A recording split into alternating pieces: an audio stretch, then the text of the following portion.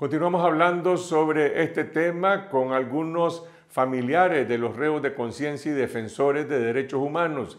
Elmer Rivas nos cuenta la historia del aislamiento y el hambre de los presos políticos en la cárcel del Chipote y el impacto de la publicación de las fotografías de los secuestrados.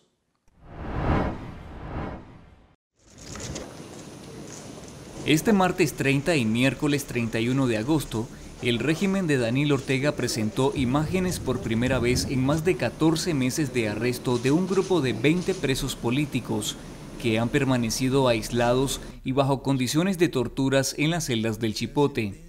Los medios de propaganda oficial divulgaron hoy las imágenes de los reos de conciencia Dora María Telles, Suyen Barahona, Ana Margarita Vigil, Tamara Dávila, Luis Rivas, Félix Maradiaga, Juan Lorenzo Holman, Álvaro Vargas, Irvin Larios y Roger Reyes.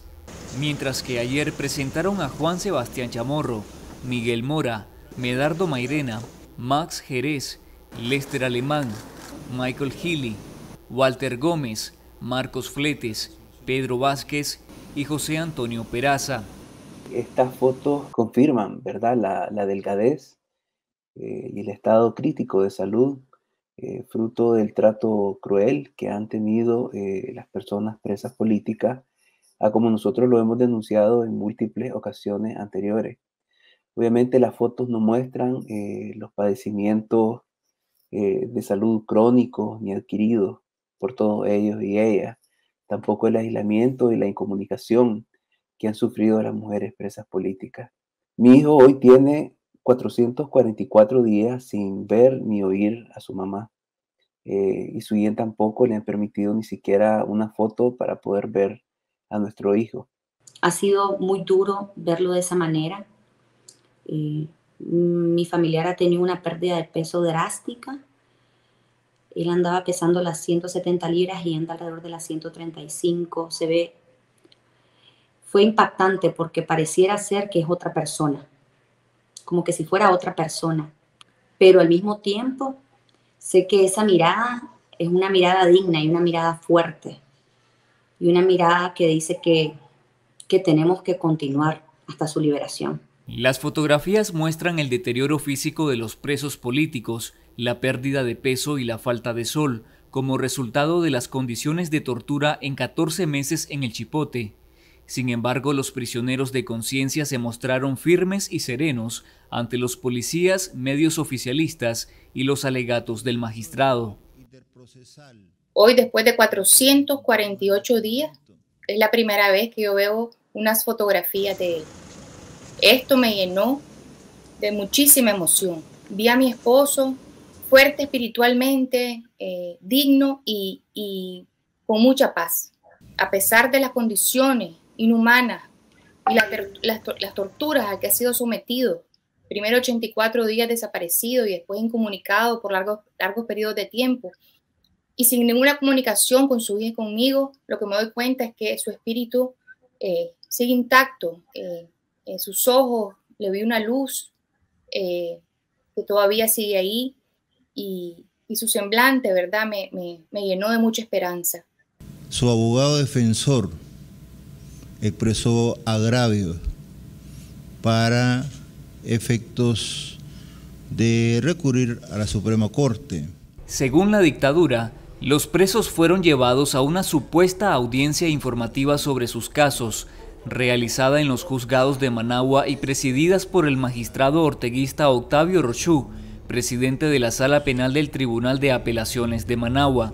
Sin embargo, expertos en derecho penal y defensores de derechos humanos afirman que la figura legal de estas audiencias no existe en el Código Procesal Penal y solamente es una excusa con fines políticos.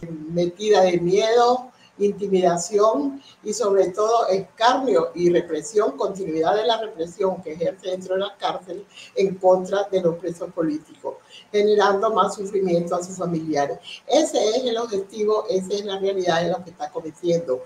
Y entonces, en una burla más a la opinión pública y en un manoseo impresentable de lo que son las leyes de nuestro país, argumenta que los está citando a una eh, audiencia informativa.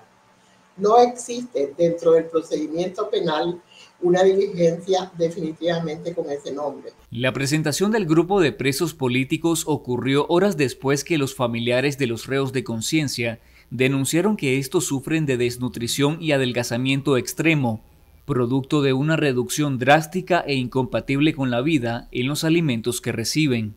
Ellos nos y esto fue algo generalizado, ¿no? que incluso pueden contar los granos de frijoles que les dan cada, cada día.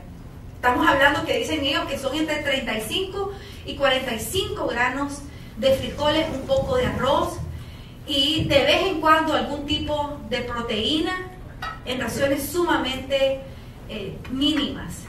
Y eso está ocasionando que nuevamente sigan perdiendo peso. Fruto de, ese, de empeoramiento de las condiciones eh, crueles con que los han tratado, eh, Suyen perdió cuatro libras adicionales.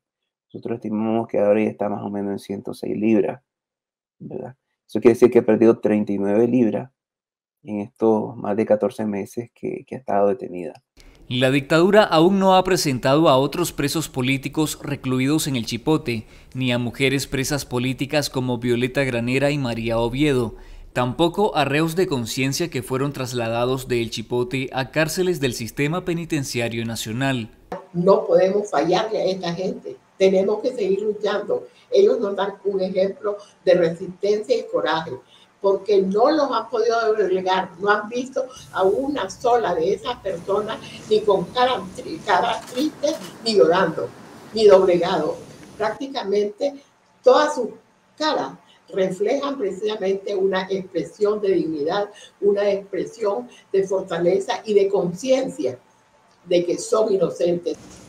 Los familiares de los presos políticos demandan el cese del régimen de tortura en el Chipote, la anulación de los juicios y la libertad inmediata y sin condiciones para todas las personas presas políticas. Entonces lo primero es su pronta liberación, lo segundo es que se les garantice sus derechos, los derechos humanos, los que cualquier ser humano tiene, tiene, pues, debería de poder acceder que es a, una alimentación adecuada, que es a tener acceso a la salud, que es poder ver a, los familiares de manera constante y no única y exclusivamente cuando ellos lo deciden.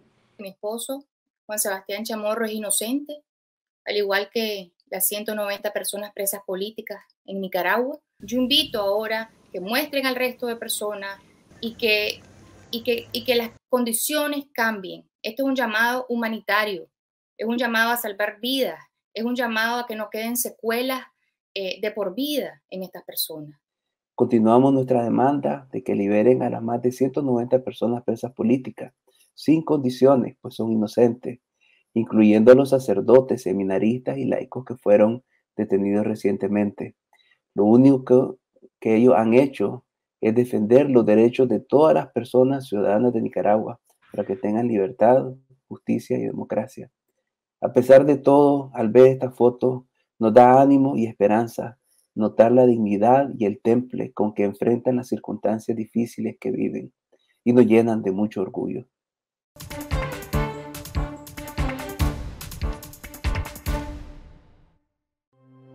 Confidencial, 25 años investigando y contando la verdad. La política la economía y la sociedad. La aspiración de un país con democracia, prosperidad y justicia. La corrupción, la pobreza y la violencia. Los temas que afectan e interesan a todos los nicaragüenses. Revelamos la verdad que otros ocultan. Fiscalizamos el poder. Promovemos el debate público. Hacemos periodismo independiente. Por una ciudadanía crítica y mejor informada. Contá con nosotros Estamos cada vez más cerca de vos. Nunca podrán confiscar la verdad. Confidencial, conectados con la verdad.